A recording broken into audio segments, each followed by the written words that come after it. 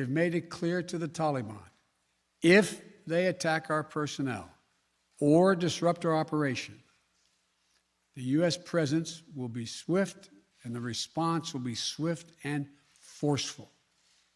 We will defend our people with devastating force if necessary. The truth is, this did unfold more quickly than we had anticipated. So, what's happened? Afghanistan political leaders gave up and fled the country.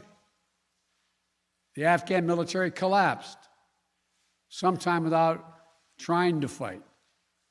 If anything, the developments of the past week reinforced that ending U.S. military involvement in Afghanistan now was the right decision. I stand squarely behind my decision. After 20 years, I've learned the hard way that there was never a good time to withdraw U.S. forces. That's why we're still there.